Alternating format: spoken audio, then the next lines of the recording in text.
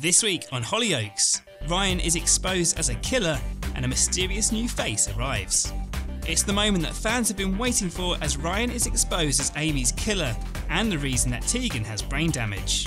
Just as Ste and Ryan are about to start a new life in Brazil, Tegan suffers a seizure in hospital and Ste rushes to her side. When he arrives, he sees an incriminating message on Tegan's communication device which reveals Ryan's crimes. When the truth dawns on Ste, he knocks Ryan unconscious and prepares to make him pay for what he's done. But how far will Ste go for revenge? Elsewhere in the village, Milo is sneaking around as he receives a phone call from a private number and arranges to meet the unknown person.